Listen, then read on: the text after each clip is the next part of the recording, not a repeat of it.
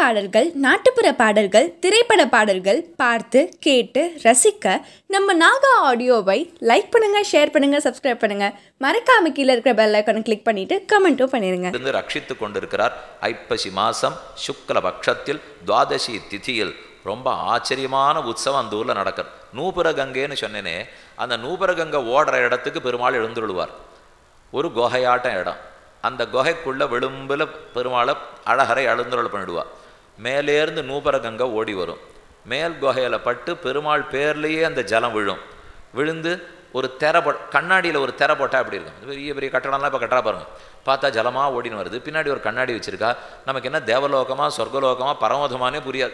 அவ்வளோ அழகாக இருக்குமோ இல்லையோ? இது நெஜம். அது போய் அது செயற்கை. இது நிஜமாகவே பெருமாளே நம்ம பக்கத்தில் இருப்பார்.